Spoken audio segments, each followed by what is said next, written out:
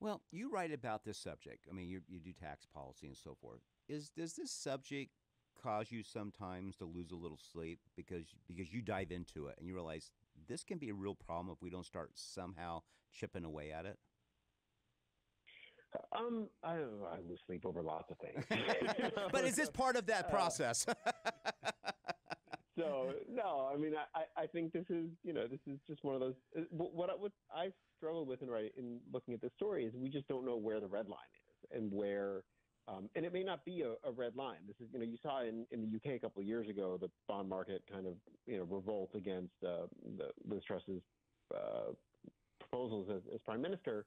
Um, that has the U.S. We have some real advantages. We Right. are the world's reserve currency. We're the safest place to to borrow, and so that's given us just a lot more running room than than other countries. We are we are not Greece.